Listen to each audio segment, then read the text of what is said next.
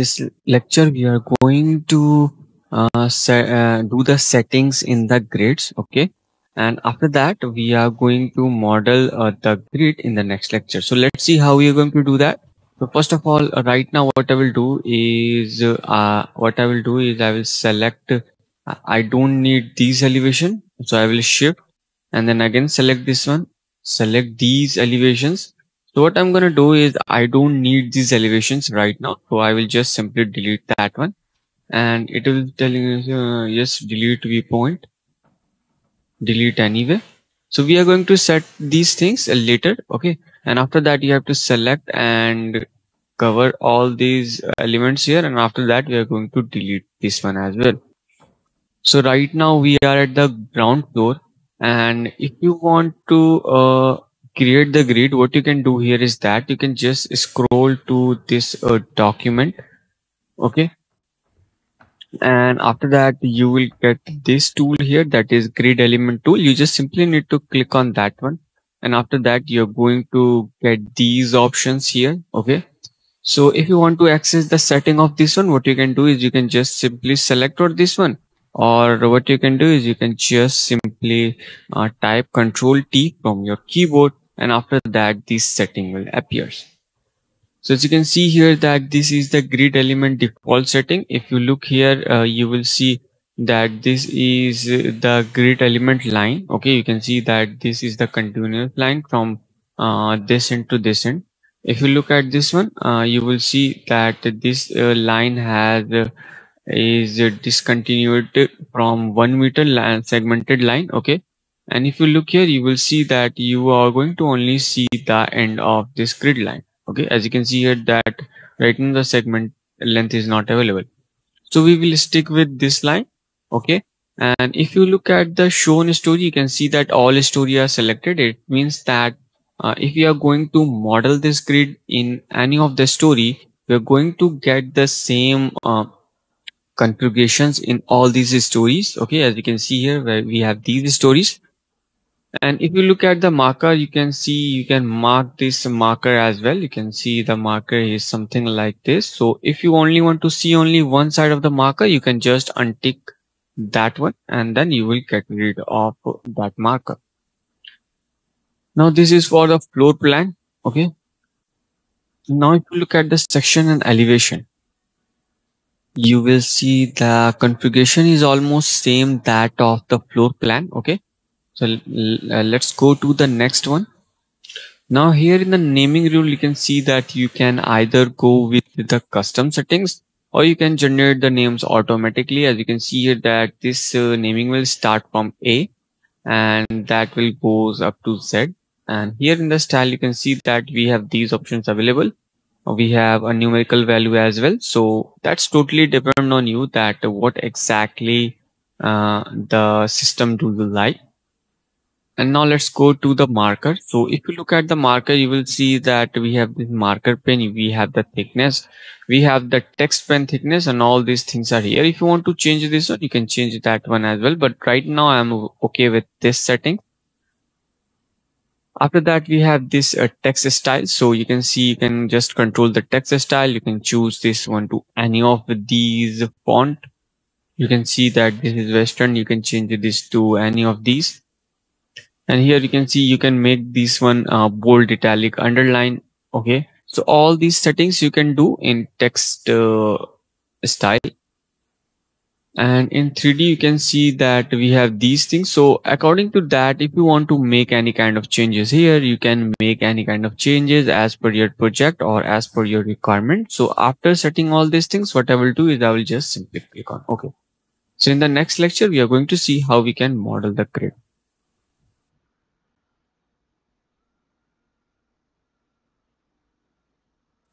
In this lecture, we are going to uh, draw our grid line. but before that, we, we just need to make some changes in our previous settings. So let's go ahead and do the setting by just uh, typing control T.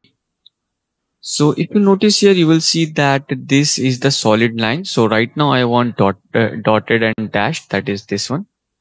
I'm going to make this line as well as uh, dotted and dashed. Okay, just like this one and if you look at the color you will see the color is green. So i'm going to change this color to uh, black here. You can see you can choose this black color or you can go with this black color. Okay let's choose uh, this black color here. And after that you just simply need to click on okay now we are going now we are ready to draw our first grid. So what i'm going to do is i will uh, select this point. I will take mouse take my mouse cursor and i will draw it like this and you can see the angle is 90 degree the distance is something like this let's draw it here so now you can clearly see that we have successfully uh, drawn our grid line here as you can see here so now that we have drawn this line, uh, what we are going to do next is we have to model the another uh, grid line here as well. So in that case, what I will do is uh, I will press escape. So right now you can see that I am at the arrow tool. I will select this line.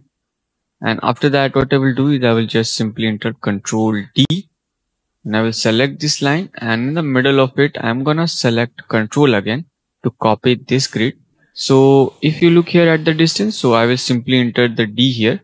So first of all, I will uh, make this one as 4200. Let's enter 4200. Let's enter here. After that, what I will do is I will again enter control D. Okay.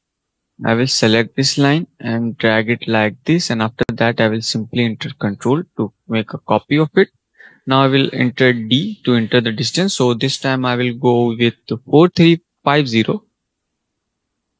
So all these uh, parts is as per the project uh, detail. Okay.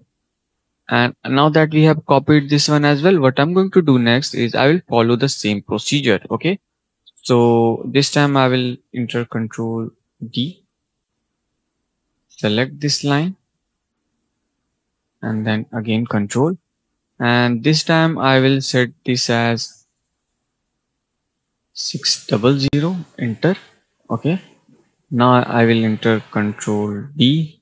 Select this line. Drag it like this. Again press control.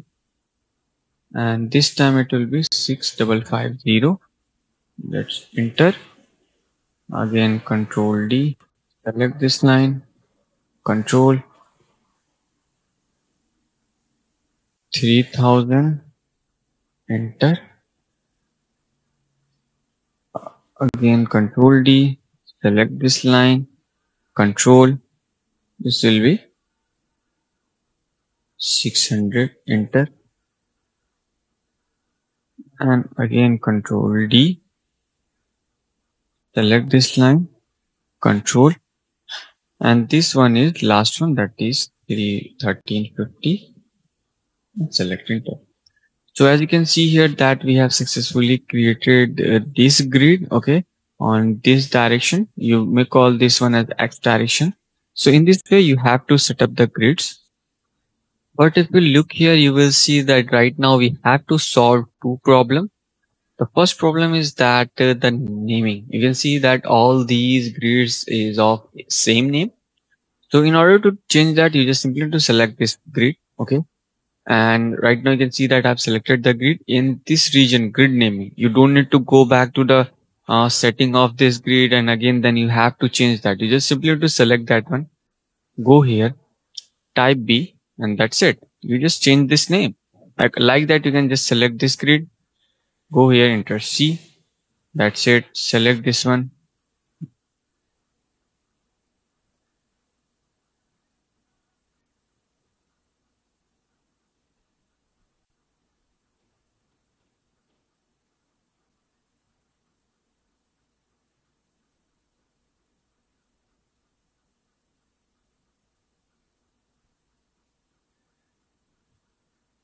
Okay, so now that we are done with this thing, uh, we have to also sort out one more problem is that if you click on this region here, you can see that these two grids are just touching each other, uh, which is not looking good. So what you can do here is that you can ju you just simply need to select this grid like that. You have to take uh, uh, click on this node and you can just actually drag this node in this direction as you can see here just simply need to click here and you can see that we have successfully moved this one away from this grid C. We will do the same thing with this grid here as well. So what I will do is I will pick up this line and I'm going to move with this one by just like this. Okay. And again I will select this one here. Okay. At this top and I will select this one and I will drag it like this okay.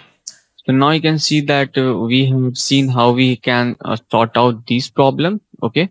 And you can see if you are doing something on this side it will automatically get updated on this side as well as you can see here. So in this way you have to create the grid. So i have just completed the grid uh, drawing of the grid on this side. So on the other side we are going to see in the next lecture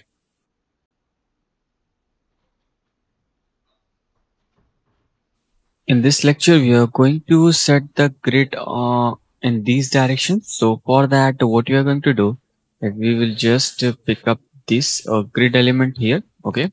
Just like that.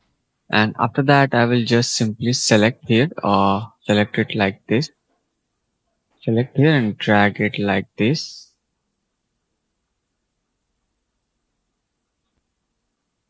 okay and now you can see that we have successfully drawn a grid on this side. So we will follow the same procedure that we have followed in the previous lecture. We will just go ahead to this arrow mode. Select this one. Control D then select this line then control. And then let's enter the distance. So this time the distance will be 1500 let's enter. Then again control D select this line then control. It will be of uh, 15 uh, double uh, double five double zero okay? Now again control D select this line control. Let's enter the distance. 1000 again control D select this line control. Let's enter the distance d here. That will be 4700 let's enter. And again control d. Select this line control.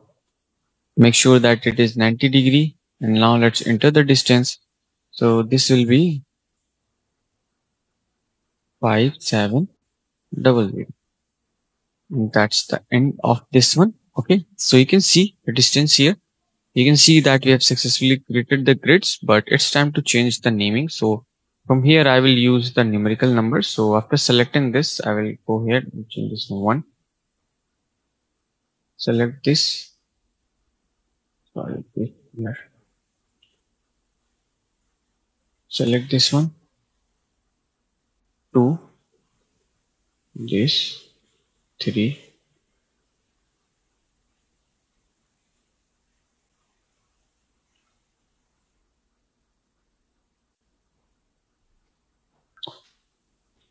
I'm using my uh, scroll wheel to panning around. Okay.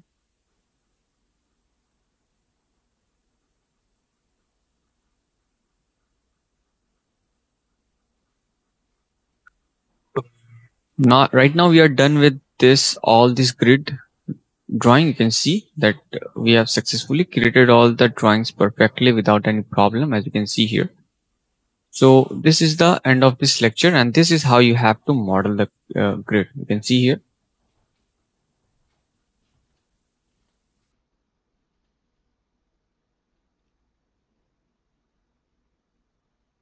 In this lecture, we are going to see about the walls. So how we can uh, do the settings in wall, how we can model the wall. So for that, what you have to do is first of all, you have to go to design and let's scroll up and at the top you will find the wall tool. So let's click on that one. So now after that let's open up the setting of that by pressing ctrl t from your keyboard. And if you look here uh, you will see that the home story is selected right now selected as uh, ground floor which is current.